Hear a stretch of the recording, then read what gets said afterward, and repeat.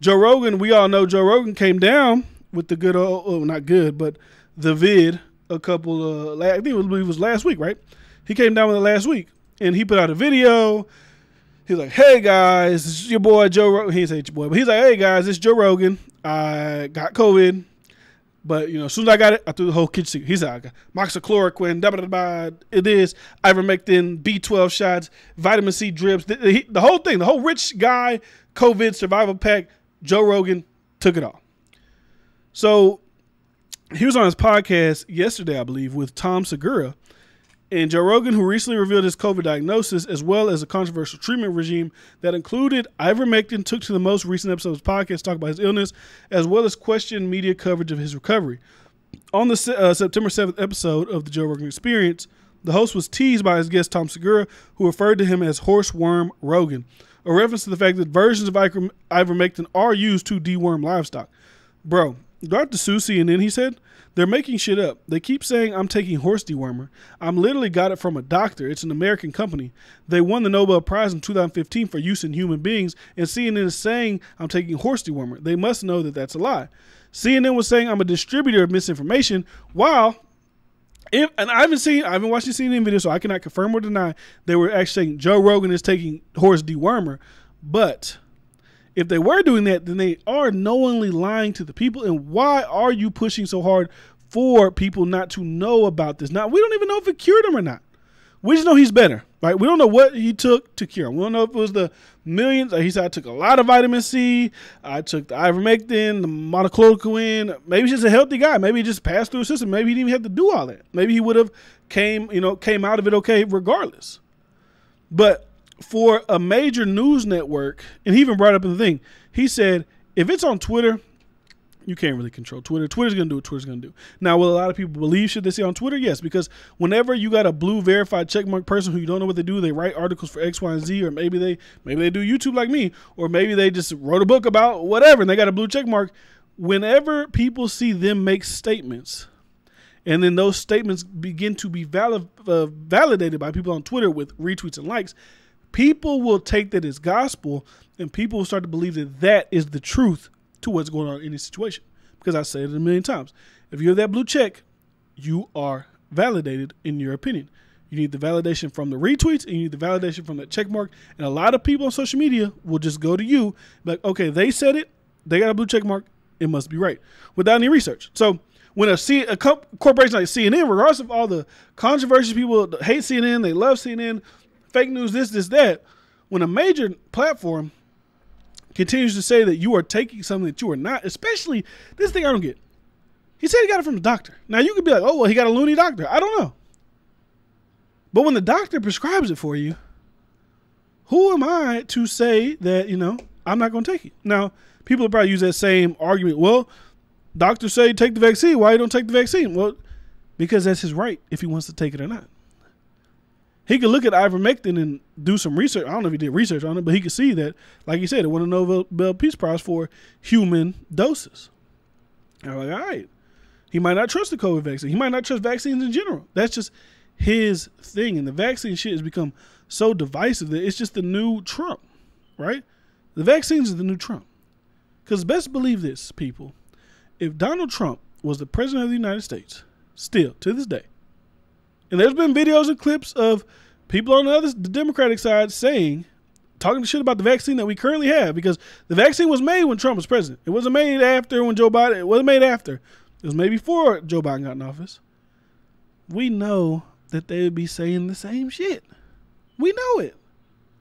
Just like with the Taliban shit. Trump was going to pull out anyway. I don't know how he was going to pull out, but it was already in motion. But since it's this side versus that side, we was gonna do the same thing you was gonna do, but now you're in power and you're doing it, so we're gonna shit on it. But if we was in power, we'd praise it. You just gotta know the politic media game that that's how they run shit. Just like when, regardless of what you think is of the border, right? You think the border's fucked up. You think that Biden is allowing a million people in, but when I just see people running down to the border that I've never seen go to the border, whenever they side was in power, but now they run down to the border to try to look at the kids and shit just look hypocritical. All the way, everybody, they all, it's not targeting one side. All these motherfuckers hypocritical. Because if there was like I said, I feel like, and I cannot confirm because we don't live in alternate realities, but if Trump had won and there was a big left wing figure that was against getting the vaccine, I don't know if he's against it, he just hasn't got it. I'm not saying he's like anti vax. No, COVID's not real. Not those type people. But if there was a person on the left while Trump was president still that went and got COVID and then started saying they took ivermectin, they would probably be like, hey, maybe ivermectin works over Trump's theorem just to take. They would do it. I don't give a fuck. They would do it. The media is bullshit. All of them are bullshit. All of them lie. All of them uh, pander to their sides because they just want to get money. They want to start fear, controversy, because you know what brings more dollars? Controversy, divisive shit, and negative. That's all. That's that's how you get the money. In the media game, that's how you get the money. Can't really go on and talk about positive shit all day because they ain't gonna fuck with it. Everybody can act like we want positivity in the world. We want th-. no, you don't. You don't. You don't. Because the positive shit ain't as interesting. If I go here every day talk about positive shit, oh my god, um, Obama donated a million dollars to the kids of Haiti, and oh, Jack Boy and Lil Baby are creating a hospital. Niggas won't give a fuck. It probably get views, but people ain't gonna give a fuck about that. That's just the dirty world and dirty game that we work in, and media knows that. So, and to make Joe Rogan, especially a person like Joe Rogan, because Joe Rogan is seen as the uncontrollable big monster in the room. He's not tied to any network. He's not tied to anything. He started the Joe Rogan experience from, I mean, he's, okay, he's tied to Spotify, but he's still his own beast and monster because without Spotify, Joe Rogan would still be Joe Rogan. Spotify didn't make Joe Rogan bigger than he already is. Spotify, I mean, Joe Rogan brought market value to Spotify. It's, it's a completely different power dynamic, in my opinion. But my point is, you see every time Joe Rogan says anything, the mainstream media is quick to leap and jump on it. Why is that? Because Joe Rogan cannot be really controlled with his opinion. Now, if he's wrong, he'll get on there and apologize. But as far as being able to be controlled, they don't like that. They fear that because he built his platform from the ground up. He's able to speak to his audience, which is tens of millions of people. I think they said tens of millions per episode, tens of millions per week, whatever it is and they can't control that. The only way they control that is by trying to censor him. So whenever you get these situations, he's spreading this information. He's doing this. It's a push to in the future, I think, to try to deplatform someone like him. Try to steer him in the lane of an Alex Jones. Look at how Alex Jones got wiped off the face of the internet in a day. Instagram, Facebook, this, that, this, that. I never you see, I never see nobody get pulled up Apple Podcast, Spotify, Pandora, your payment information. Now I don't I'm not saying Alex Jones tells the truth. He might say some wild shit.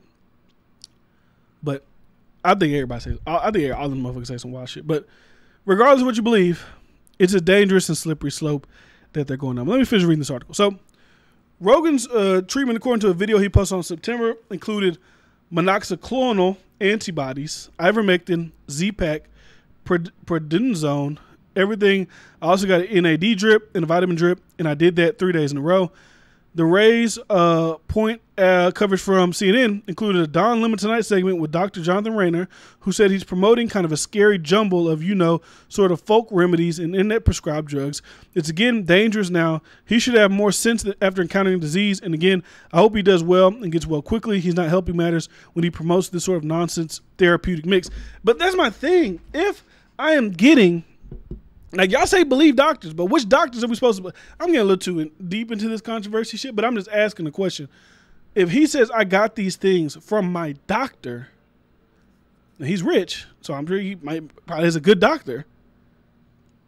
What is he doing that's bad? Because if I go to the doctor, I'm probably not gonna be able to get ivermectin, Z-Pak, monoclonal antibody, all this shit. I ain't gonna be able to get all this shit.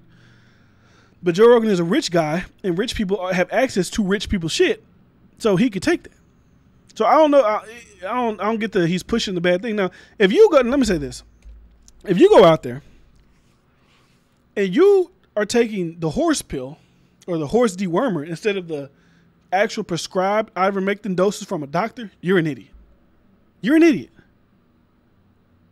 You might as well just go get the damn vaccine if you're going to take some horse dewormer. Because the the com the, the, the, two different things. If you get if you're going to Tractor Supply and buying the dewormer, you're an idiot.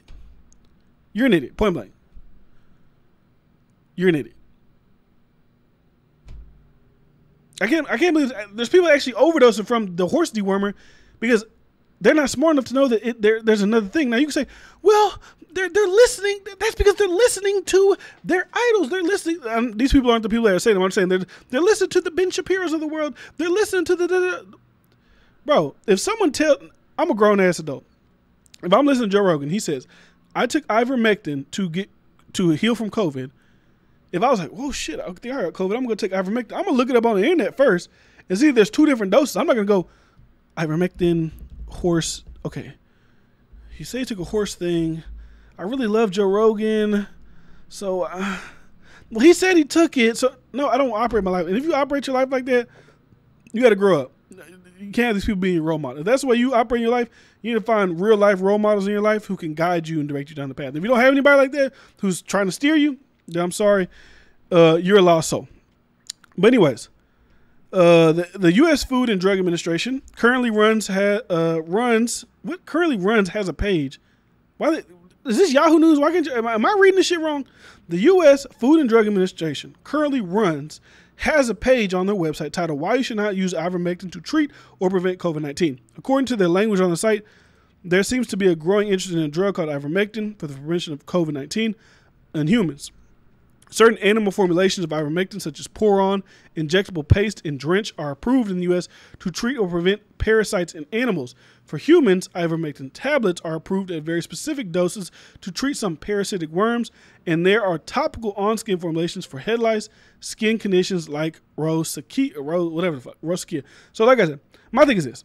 Now, if Joe Rogan just went and took all these this combination of drugs on his own without a doctor telling him, then I'd be like, well, Joe, what are you doing all that for, right? If he actually, hey doc, I'm sick. All right, Joe, I've been seeing you for the past ten years. I'm prescribed you ivermectin, monoclonal, whatever the fuck, this and that.